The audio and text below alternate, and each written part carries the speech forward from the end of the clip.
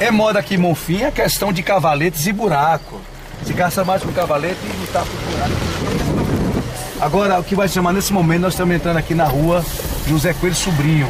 Nós estamos saindo aqui da, da, da Fernanda Cunha, entrando na rua José Coelho Sobrinho. Agora vejam só é, é, o investimento do governo, do governo estadual federal, para com uma central de abastecimento. Aí vejam só, eu gostaria que, que o nobre cinegrafista é, mostrasse o que é a irresponsabilidade com dinheiro público. A irresponsabilidade com dinheiro público. Está aqui uma cena que você possa vivenciar. Aqui quantas, quantas você pode é, é, obter êxito.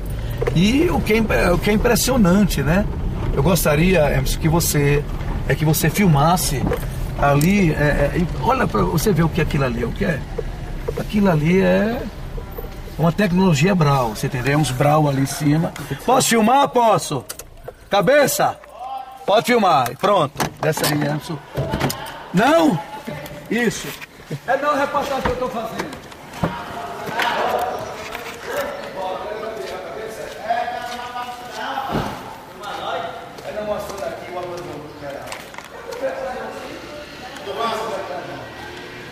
É bom tirar nós da rua, tirar nós da rua, estamos na rua, casa. Tá sem casa. Olha, tá aqui eu sem tetos, né? Sem casa. É isso mesmo, cabeça? Tá sem. Não tem onde morar, isso? Com certeza. Então vocês ficam nessa parte elevada porque não tem cobra, não tem jacaré. Tem morar, não tem, não tem nada para ficar. E tem muita muriçoca? Tem muita muriçoca, cabeça? Tem. Isso. Aí, tá, aí, veja só, o quanto o governo gastou aqui hoje é dessa maneira. É impressionante. É impressionante. Toma, cabeça.